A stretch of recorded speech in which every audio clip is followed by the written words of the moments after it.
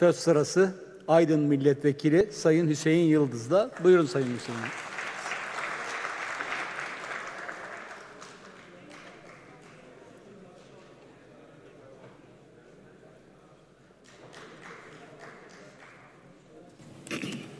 Sayın Başkan, değerli milletvekilleri, Sayın Bakan, bürokratlar, hepinizi saygıyla selamlıyorum.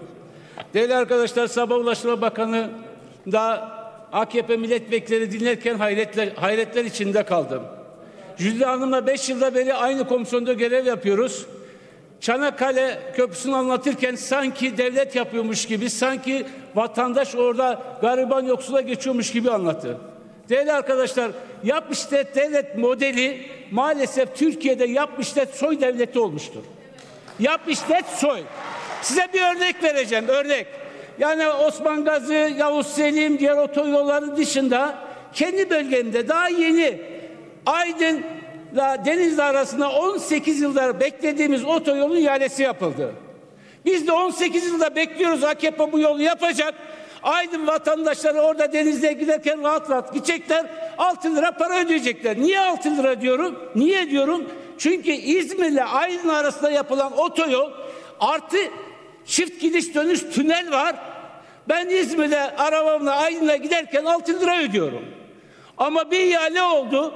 Bir inceleme yaptım. Bir baktım ki ne 6 lirası, ne 7 lirası, ne 8 lirası tamı tamına 60 lira yapmışlar. 60 lira. Yani 10 katı.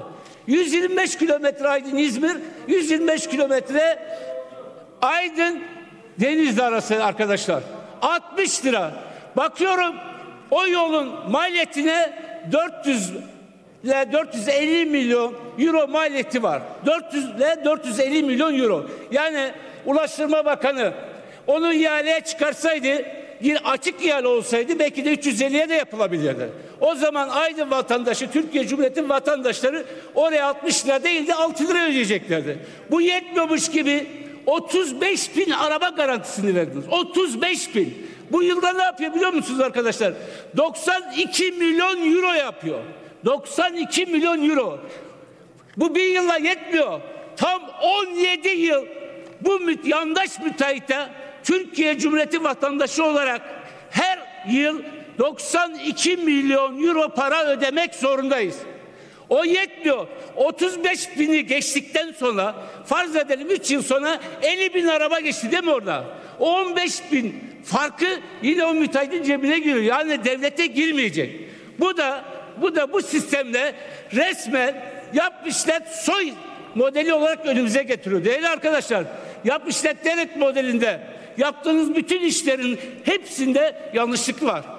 Neden var? Şimdi hesapladım aşağı yukarı yap devlet modelinde 150 milyar lira 83 milyon yani hazine kefil olmuş şirketlere. Bu şirketler iflas ettiği takdirde hiçbir ödeme zorluğu çekmiyorlar. Hazine ödüyor. Yani ben o ihale alan firma bir kuruş cebinde bir kuruş cebinde para koymadan 17 yıl içinde tam tamına 1 milyar 200 milyon euro cebine para koyuyor. Bu ne demek Sayın Bakanım biliyor musunuz? 10 katrilyon demek. Siz koskoca Türkiye Cumhuriyeti olarak siz 6 bin lira esnafa para dağıttınız. 6 bin lira, 6 bin lira. Bir adamın cebine tam 10 katrilyon para koyuyorsunuz. İşte siz aranızdaki fark bu. İşte onun için Cumhuriyet Halk Partisi'nin genel başkanı Sayın Genel Başkanımız Kemal Kılıçdaroğlu diyor ki ben gelir gelmez Cumhuriyet Halk Partisi iktidarında yap işletler devlet modellerini hepsini kamulaştıracağım diyor. Evet bunu yapmak zorundayız. Değerli arkadaşlar ikinci Abdülhamit demir yollarını İngilizlere verdi. Yani Avrupalı yatırımcılara verdi 99 yılında. Umumiye, Umumiye geldi kurdular. Hazinenin gelirini elinde aldılar. O borçları ödediler. Osmanlı çöküşü oldu. Siz şimdi biz o dönemin Cumhuriyet Halk Partisi ikinci genel başkanı, ikinci Cumhurbaşkanı İsmet İnönü Londra'da söke söke kapitülasyonları kaldırdı, kamulaştırdı, kamulaştırdı. Şimdi sıra siz kapitülasyonları getirdiniz buraya, tekrar bu ülkeye soktunuz.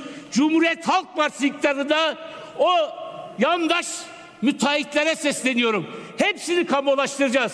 Değerli arkadaşlar düşünün yani 1 lira koyuyor 9 lira kazanıyor. Bu parayı kim veriyor cebinizde mi ödüyorsun Sayın Bakanlar? Size soruyorum. Sizden önceki bakan neden görevde alındı Sayın Bakan? Soru soruyorum. Sizden önceki bakan Sayın Turan'ı neden görevde aldınız biliyor musunuz? Haksızlığa tahammül edemedi. Sarayın sarayın talimatına uymadı. Tamamlayalım lütfen. Açalım. Ben neden bağırıyorum biliyor musun? Atanmayan öğretmenler için bağırıyorum. 140 bin esnafın kepeliği kapalı ekmek götürmeyen esnafım için bağırıyorum. Evine ekmek götürmeyip de kendi intihar eden o baba için bağırıyorum. Gerçekten 10 milyon işsiz olan insanlar için bağırıyorum ben burada. Onların sesi olmak istiyorum. Elinizi vicdanınıza koyun değerli arkadaşlar. Elinizi vicdanınıza koyun. Demeyin ya Jülide Hanım dedi ki biz gelmeden önce 26 tane havaalanı vardı. Evet doğru söylüyor. Geldikten sonra 52'ye çıkardık. O da doğru. O 26 tane havaalanı yani bizlere 83 milyon insana aitti. Ama sonra ne yaptınız biliyor musun? O 26 tane havaalanları yandaşlara verdiniz yetmiyormuş gibi 26 tane de yine yandaşlar yaptı. Bize ait olan, hazineye ait olan hiçbir havaalanı bize ait değil değerli arkadaşlar. Onun için burada bağırıyoruz. Bir an önce bu yap işlet devlet modelleri ortada Teşekkür- kaldırın. teşekkür. Hepinizi saygıyla selamlıyorum.